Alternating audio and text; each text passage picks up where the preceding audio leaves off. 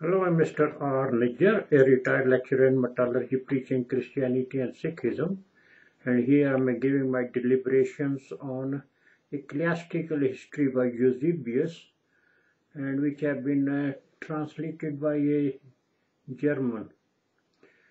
So there is the how the Tiberius was affected when informed by Pilate concerning Christ Jesus. So this is a portion we are going to do. And when the wonderful res resurrection and ascension of our Savior Christ Jesus were already noised abroad in accordance with an ancient custom which prevailed among the rulers to the provinces of reporting to the emperor the novel occurrences which took place in them, in order that nothing might escape him, Pontius Pilate informed Tiberius. Now, this uh, Pilate, uh, being an official, was reported to Tiberius, you know, and uh, there's a text to that one which uh, uh, you can read it for your of the reports which were noised abroad through all Palestine concerning the resurrection of our Saviour Christ Jesus from the dead. He gave an account also of other wonders which he had learned of him, and how after his death having risen from the dead, he was now believed by many to be a God.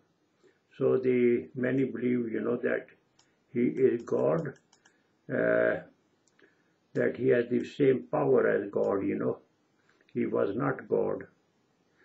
They say that Tiberius referred the matter to the Senate, but that they rejected it ostentatiously, ostensibly because they had not first examined into the matter for an ancient law prevailed that no one should be made a god by the Romans except by a vote and decree of the Senate. So the things of the God are known to the few, not to any. So how can they vote in favor of Jesus? But in reality, because the saying, because the saving preachings of the divine gospel did not need the confirmation and recommendation of men. That is good, you know. But although the Senate of the Romans rejected the proposition made in regard to our Savior Christ Jesus, Tiberius still retained the opinion which he had held at first and contrived no hostile measures against Christ Jesus.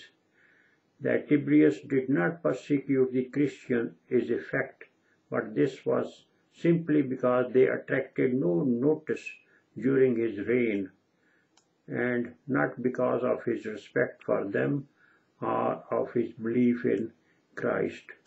These things are recorded by Tertullian.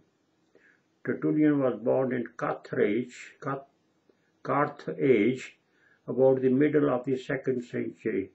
Remember that in the Carthage also went a Samaritan woman at the well with her family to preach gospel. So over there the Nero killed her. The common opinion is that he was born about 160 AD. So these are all his uh, date of birth and uh, when he died. However, he was a solicitor liar, he became a presbyter. Becoming a presbyter mean that he was a blind guide of the blind. Because uh, in Jesus we need to be roving preacher. The gospel is, the seed of the gospel is sown by the preachers, not by the resident presbyters and whatnot, deacons and bishops and all that they are not capable of sowing the seed of his word in the hearts of the people because they are not aware of it. The, the key to the kingdom, royal kingdom of God lies with the in the hand of apostles, not in the name, in the hands of the presbyters, men of letters. A man well versed in the laws of the Roman, he, he was well versed in the law of Romans. He accurate acquaintance with the laws of Roman is not very conspicuous in his writing because the law has nothing to do with the spirituality. And in other respect of high repute and one of those specially distinguished in Rome but he had being of his noble son he was well uh, respected in Rome also so in his apology for the Christians, Tertullian apology ranks first among his extant works and is one of the most beautiful monuments of the heroic age of the church. So they, you know, everybody has his own opinion. So you should vet the thing by spirit and believe what your Holy Spirit accepts. Holy Spirit is common sense, which has written by him in the Latin language and has been translated into Greek.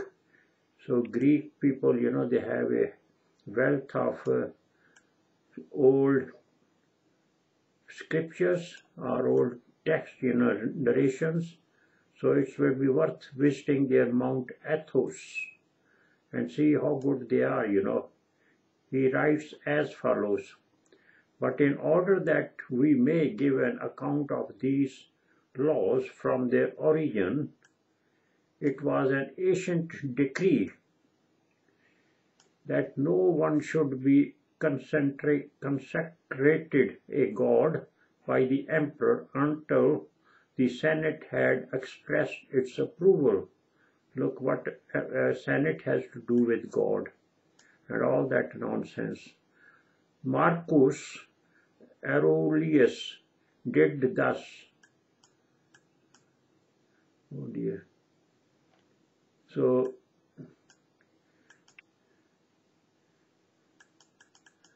Marcus, uh,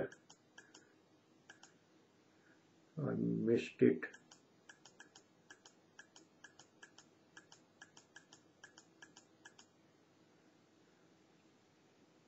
But uh, account of the law from their origin, it was an ancient decree and that no one should be consecrated a god by the emperor until his as senate thus concerning his senate had expressed approval. Marcus Aurelius did thus concerning a certain idol, Albu, Alburnus, so which you know uh, Latin is uh, all given there you know. And this is a point in favor of our doctrine. That's why Eusebius also being a blind man he's uh, just saying that this is in favor you know. Remember the Christianity became corrupt by the end of the first century and then these Messianic Jews, after they become the bishops, they used to sit with the emperor and kill the apostles by putting them before animals to be eaten alive. That among you divine dignity is conferred by human decree. If a God does not please a man, he is not made a man. So that means you need majority to to become a a god. Thus, according to this custom, it is necessary for man to be gracious to God. So, there's a lot of these things we will discuss in the next videos.